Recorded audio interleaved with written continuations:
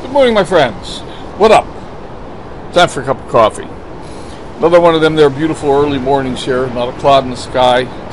Uh, it's clear, nice day. So, I end almost all of these videos with, "I intend to be happy today. I hope you do too." Where does happiness come from? What is it? You know, a lot of times we look for happiness outside of ourselves.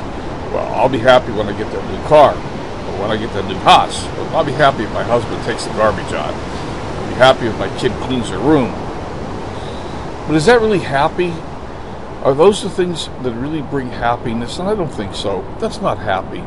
Um, it may feel good. It may be pleasant, pleasantly surprised, or whatever. But happiness comes from inside. Happiness has to come in there. It's not out there.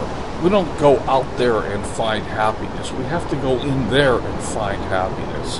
That's true happiness, true joy. It's it's sustained.